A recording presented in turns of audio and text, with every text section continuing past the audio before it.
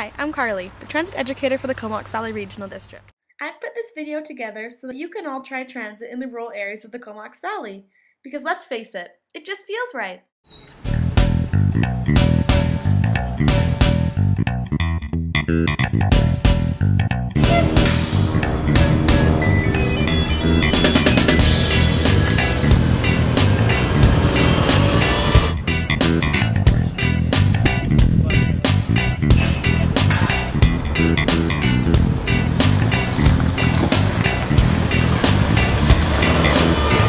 Although riding transit in rural locations is much like riding transit anywhere else in the Comox Valley, there are certain tips that you can follow to make sure your ride on BC Transit is as successful as it can be.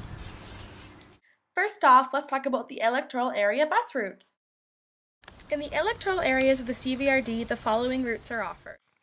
The number 10 Royston to Buckley Bay travels from downtown Courtenay to the Driftwood Mall, then out to Royston, past Union Bay and Buckley Bay, all the way out to Fanny Bay.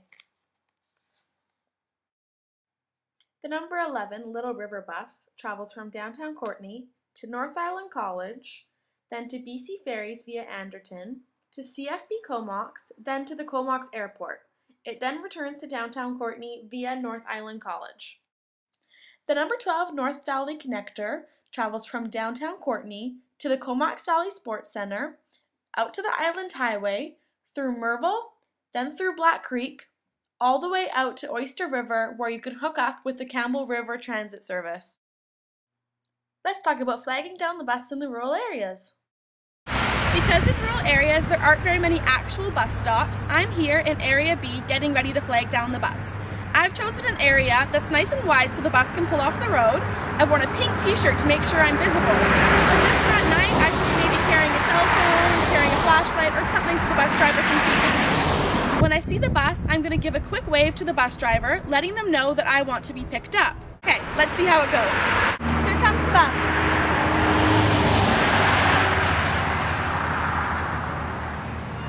See how I gave him plenty of notice, indicating that I wanted to get on the bus? And he can safely pull over on the wide shoulder.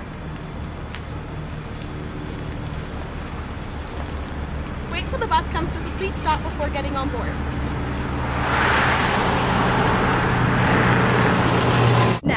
Rules apply for getting off the bus. You want to make sure that you find a safe location for the bus driver to pull over, and you want to make sure that you also give the bus driver plenty of notice.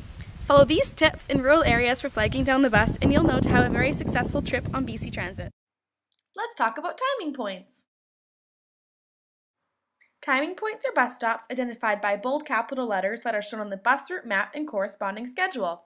Along the route, you will find other bus stops that are not shown in the schedule. To use timing points, find the bus stop location nearest to where you want to catch the bus, and use the previous timing point to estimate what time you should get to your bus stop. You can also use timing points to find your destination bus stop to help you better plan your trip. Thanks for watching! For more information, log on to the BC Transit website at www.bctransit.ca or log on to the Comox Valley Regional District website at www.comoxvalleyrd.ca.